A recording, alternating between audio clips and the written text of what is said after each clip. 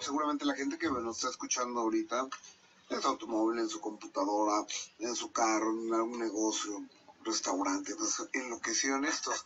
que se va a casar Joan Sebastián, ¿no? que No, aquí les va el chino que está requete bien bueno. Así es. Porque eh, hasta donde entiendo, y ahorita Roy que trae la información me desmentirá o me aclarará.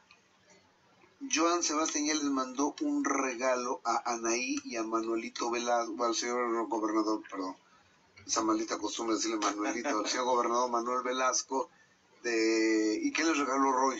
Fíjate que qué detallazo del señor Joan Sebastián Anaí eh, compartió en su Instagram hace unos momentos eh, una fotografía de una guitarra que le mandó el señor Joan Sebastián autografiada y el mensaje que le puso en la guitarra dice Anaí, niña preciosa, que esos bellos ojos solo lloren de felicidad. Besos, Joan Sebastián.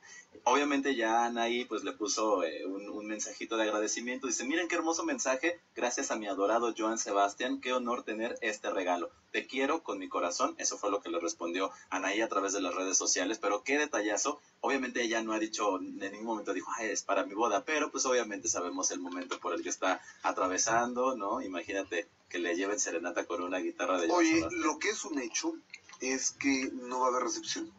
¿No? No, nada más va a ser la, la boda en San Cristóbal, en San Cristóbal de las Casas, ahí en Chiapas, que la gente que conoce dice que es un lugar maravilloso, mágico, que se van a casar ahí y en la noche habrá una cena, pero ya nomás para la familia, que el tiempo y el momento político no están como para que hagan una gran pachanga de 3.000 invitados Claro.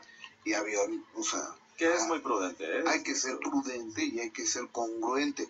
Y creo que Velasco este, es lo que está haciendo. Sí, yo también creo que es una decisión prudente. Obviamente, pues por el, el, cariño que se le tiene a Anaí, pues nos gustaría ver estas llamadas bodas del año, pero bueno, sí se entiende que justamente es, es una cuestión de prudencia. Y qué detallazo el de Joan Sebastián, ¿no? Mandarle esta guitarra. Exactamente. Y fíjate que hablando de exactamente lo contrario, vámonos con él.